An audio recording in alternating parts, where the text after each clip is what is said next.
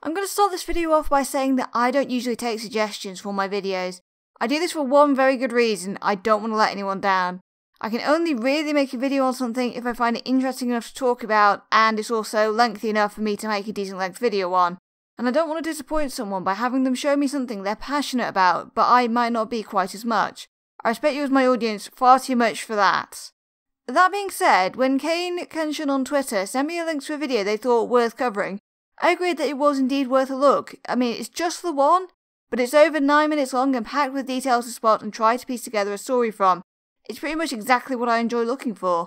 However, as it's only one video, I'm not sure if this was going to become a series for the creator, nor am I entirely sure of whether the series has an overarching title.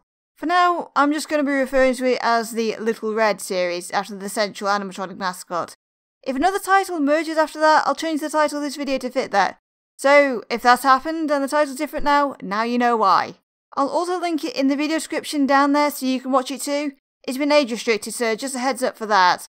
It's also been criminally underwatched because of this, so please do give it a look and leave some supportive words for me. So, with all of that cleared up, let's get into talking about the first of the Little Red series, Little Red's Transfer.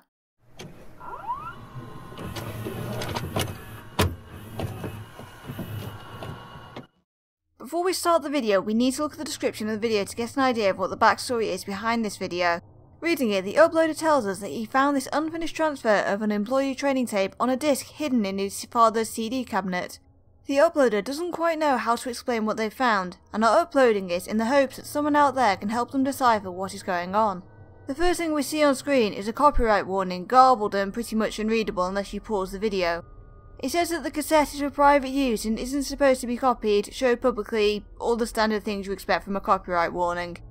At the bottom you can just about make out that the tape is only supposed to be given to new employees upon starting the job. Immediately this tells us that the transfer mentioned in the title and the description was that of a video cassette to the CD that our uploader found it on, one that belonged to a company.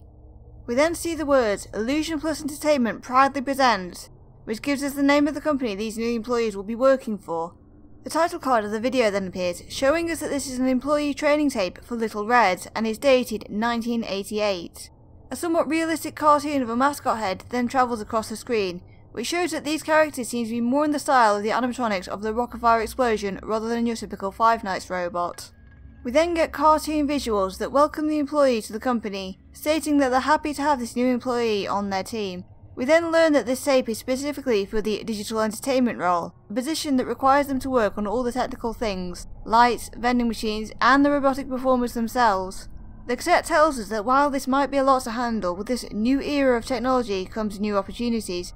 The tape then goes on to welcome the employee to the team, but the tape glitches out for the first time, with the visual on screen being stretched off to the left before being completely replaced with a donut advert, while another screen seems overlaid over it flashing to tell us that video viewing is unavailable, with some other smaller text instructions over it that are partially unclear over the background of the donut advert. But starts with what looks like the word connect and mentions that a number should be contacted on the disc casing. The voiceover is replaced with some peaking music while this is going on too, but eventually the tape resumes as if it had never been cut off, almost as if the advert was something that had been accidentally taped over a section of the cassette, or else inserted in between a cutout section of the cassette video in a video editor. This next section tells us that Little Red has grown from its predecessors, and we see a segment of a fun facts page that shows us how Red's design has changed over the years. Little Red has been around in some form since before the late 50s. We learn that Little Red gets their name from the Little Red Riding Hood fairy tale, and the bowling has apparently been around for a very long time. We also learn the names of two people, Hayden Burrow, who apparently introduced Red as a character, and Ali Michelle, who reimagined the character in the late 50s. A word is also blanked out in the fact naming the two, with the sentence reading, she claimed his original design was blank to be an all-inclusive mascot. We then see a map of the USA with dots scattered all over it which shows that the company has spread quite far after many decades. They also show off a Little Red plush doll, a flyer ad for an arcade cabinet called Little Red's Funnel Bash, and what the voiceover suggests is a television program called Little Red's Mania Lanes. It then goes on to state that Little Red is an iconic character, and this is why the digital entertainment role is so important. Because Red is a staple of many childhoods, and therefore the robotic Red needs to be kept working to remain bigger than life.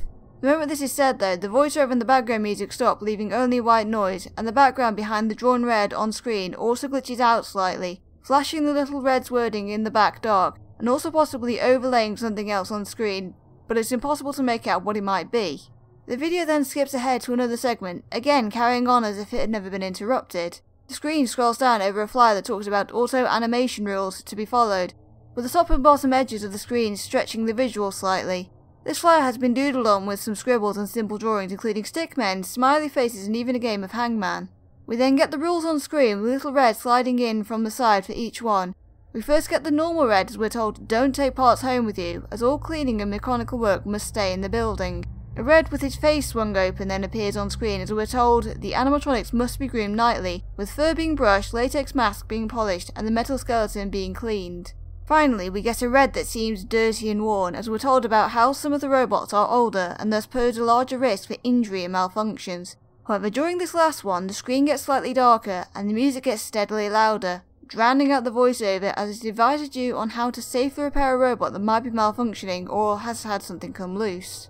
Eventually, the voiceover is barely audible and the screen glitches again, turning into just bars of colour stretched vertically across the screen as the music skips. Just before it stops, there is a brief flash of an image, an upside down image of a boy wearing a party hat bearing Little Red's face, and to the left an upside down image of what looks like a noose. The video then cuts to another advert, this time for powdered bleach, as more peaking dramatic music plays with what sounds like the Five Nights animatronic scream, and the overlay text returns and now it's a lot clearer, and I'm going to include all of the on-screen text as written. Video viewing is unavailable. Contact Illusion Plus Entertainment for stock and repair Failure of connection should be further solved with higher office. Contact number is displayed on computer disk casing.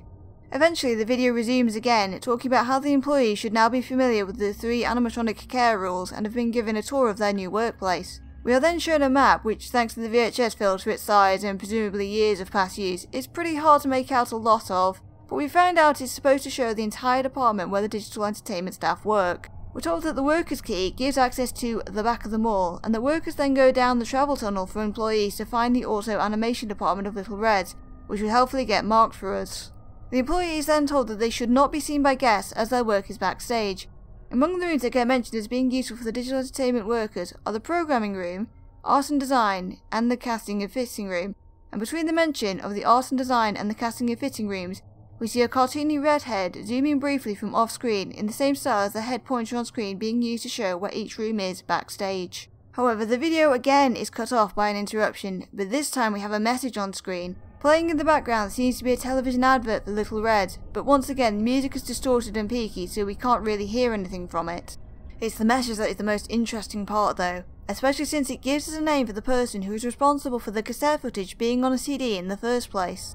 Eric, I know Tanya said there was something wrong with the 80s tape we transferred. Turns out whatever she mentioned is corrupting this older cassette as well.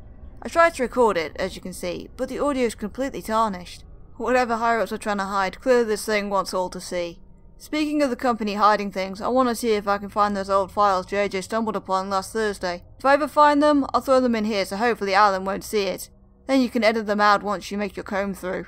Also, I'm surprised how well this is going. Like, I never really understood the reasoning behind using the outdated training tapes to the new locations, but nothing has really changed over the years. Just a few modifications and we save loads of time, right? Anyways, I'll see you at the New Year's party. 2011, here we come. Ivan, audio technician. We're then taken back to the map tour, where the voiceover shows us where the employee lounge is located on the map. We're then told that the animatronics themselves have been placed around the mall to entertain guests, and we then get a photo of Red standing in what is assumedly a dark room backstage. The voiceover tells us that we won't be doing the job alone, but then a newspaper cutting interrupts. The cutting has the headline Birthday Disaster and we see a photo of Red as part of it. Playing with the saturation settings also reveals that while the image of the newspaper is black and white, this is a colour photo of it and the stain over the right hand side seems to be red. After a few seconds, another message from Ivan fades in, Remember to delete this, we don't want them knowing we have these. I'm working on making the text a bit clearer, but until then, I think I've found some images of the location this happened at. Maybe you can help me understand what all went down. Fair warning, I don't know how graphic these could be. Ivan, audio technician. The video resumes and we're shown a photo of a dark section of the mall, while the voiceover says that each staff member is assigned their own section to work in and gadgets to attend to which will be given to them upon arrival at work in envelopes. We're then told it's time to meet Red and his friends, but once again we get an advert cut into the video. This time it's for a portable radio and the video viewing unavailable screen is still interposed on top of it and the music is still distorted and peaking. Then it suddenly cuts to an image of a little red robot in a room, high-pitched bleeping in the background, with another message from Ivan. Okay, well, I just finished the audio mixing. I made some editor's notes in parts where I think we should replace the frames with a modern counterpart. Example, we have completed updates of the rules to follow this, so I think it's better we just scrapped it, right? I tried to delete it myself, but it never updated. Anyway, look here, I found an image of an old little red model. I assume this is the same model that caused the incident in that older location. I'm still working on decoding that article, I contacted JJ and Tonya to get their input, and Tonya came across an interesting discovery. Odd Kids' drawings have been edited in within parts of the VHS transfers. I haven't found anything in this one in particular, but if you do, you have my email. I knew this was far past the technical error we would originally assume. Ivan, audio technician. The video then briefly cuts back to the advert, then switches to what seems to be the cover of an interactive fairy tale reading book, Locks the Golden Bear, with a cartoon little red on the front and presented by Tarkalin Children's Care. The screen goes black for a while, then plays a cartoon. We see Little Red walking up to a house in the forest as upbeat music plays. Then we see a door, hear a doorbell, and the door opens letting a fly out. Little Red appears a little unsure, but he enters and walks down a dark hallway with pictures hung wonky on the walls, and the music suddenly turns from upbeat to a dull and unsettling thrumming. We see Little Red staring at something in shock or surprise. Then we see the knot of a noose as flies buzz around it and the music begins to clip and distort. We then further see there appear to be two nooses, and something heaped between them. We then focus on a bear character in a chair, wearing a blue robe or else covered in a blue blanket as the flies buzz around them. They start crying, and when Little Red looks puzzled, the bear points at some objects and something else appears briefly on the screen. There is then another slight flash of the doodled on rules page before we see Ivan's final message of this video. Don't submit this transfer. There's something truly disturbing happening in my department, Looking back at the image I showed you earlier, did you see it in the shadows? Brighten it if you can. Please know if it's only me. I don't think I'll be coming to the party. I'm really on edge. Ivan, audio technician. The background music gets more distorted and staticky as we then get a series of images, starting with the cartoon Little Red jumping before seeing a cartoon pig character who scowls at the screen. We then see what looks like a very simple rendition of Little Red's cartoon head, then a side view of something too close to the screen that whites out too badly to make out much. We then get what looks like a very simplistic lion head and it finally cuts to a close-up on Little Red's latex mask, eyeless and in the shadows. It begins to slowly sink backwards into the shadow, bobbing up and down as if the robot itself is slowly backing away from the camera. Images are then overlaid. Video of a face, the fantastic birthday parties from the television ad snippet we saw earlier. A logo for Illusion Plus Entertainment as the ad plays the part where the little red robot is moving around. A slow zoom out of a logo for Little Reds dated in 1969.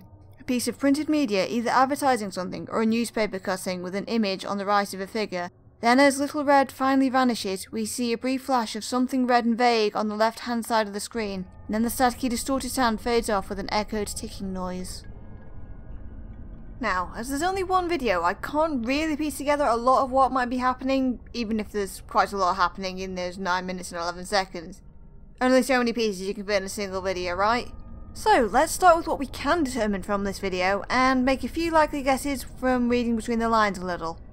Little Reds is a long-running franchise by the point the original VHS tape was made, with them having locations all over the USA, as well as toys, arcade machines, and a show. What exactly a source of establishment Little Reds is though, we don't know yet, although it is somewhere that hosts events such as birthday parties as seen from each television advert and the newspaper cutting, potentially a place containing a bowling alley.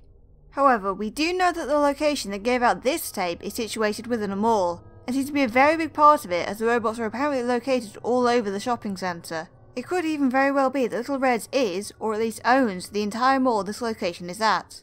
Little Red seems to be owned by a company known as Illusion Plus Entertainment, which is alternatively written out fully as Illusion Plus, or as Illusion Plus, with the latter so far confined only to the video viewing unavailable message we see. We also know that Little Red is not the only character that Illusion Plus has, as before the tape goes totally off the rails towards the end, we are due to be introduced to the other characters.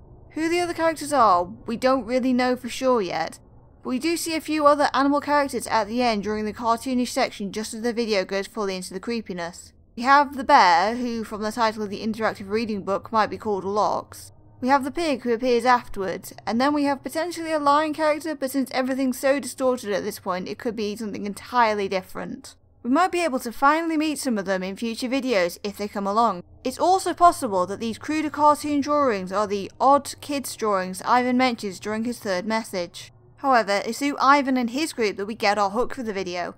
In Little Red's long history, something happened. An incident in an old location that the higher ups seem to be trying to cover up and hide.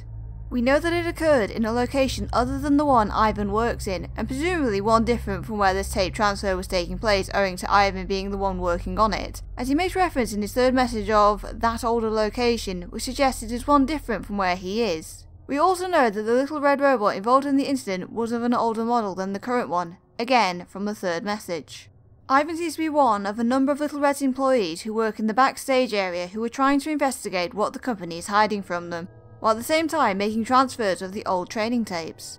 The reason they seem to be interested is that one of their number, a woman named Tonya, noticed during a transfer of another 80s tape for the company that there was some strange corruption affecting it. The tape that Ivan is now transferring also seems to have been subject to the same corruption on an older cassette, which either means that the tape Tonya worked on was made after this one, possibly in 1989, or had already been copied to a newer cassette tape somewhere down the line. Either way, Ivan and the others feel that something is trying to tell them something through the tapes related to what is being hidden, and so all of them are trying to dig up whatever old information they can and are using the transfers as a way to communicate secretly with each other so they don't get caught by the company. In particular, someone named Alan.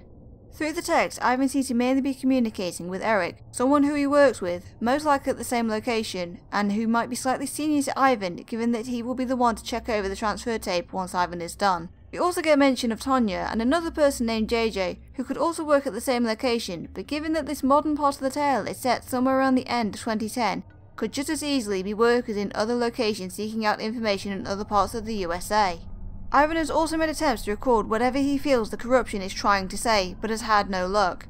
However, by the end of the transfer, something has spooked Ivan enough that he doesn't want the transfer to get submitted, and it makes us wonder if he found something major.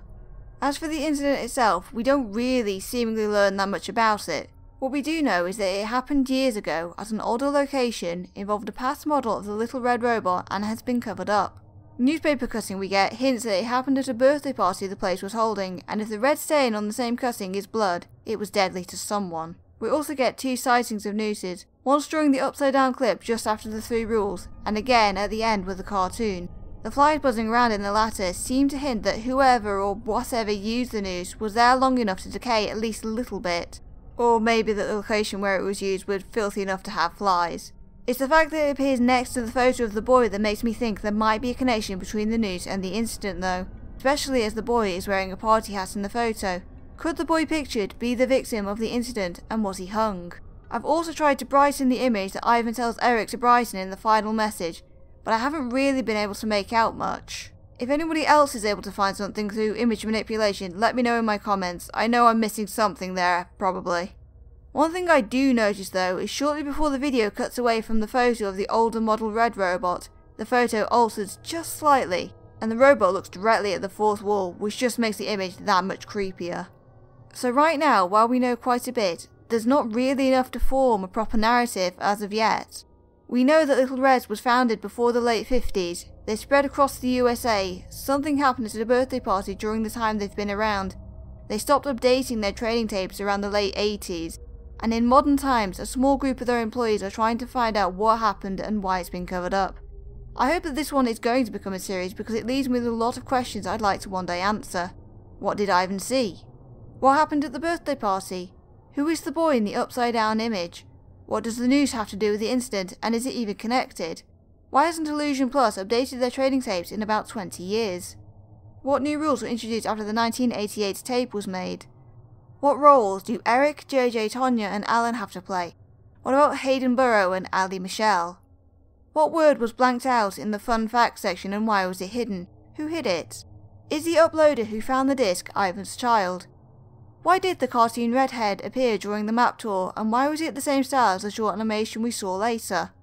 There is an open door that the bear was pointing at who or what was on the other side of it.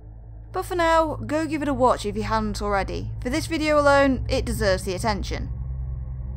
Whoa, and just as I was recording this script, the channel behind this video uploaded again, quite a few times.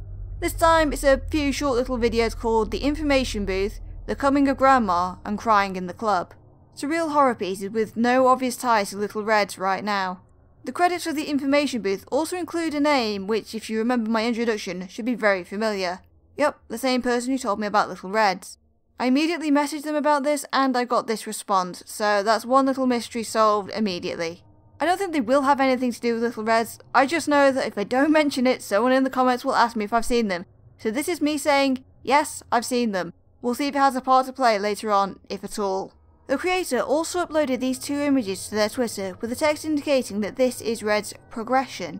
There's not much to say about these images really, although I do wonder if something's hiding beneath the banner in the first image. Because of course I do, I'm me. For now, we just have to guess, at least until we get handed a little more information to work with. Hopefully this is just the start of another series we can all enjoy a little further down the line.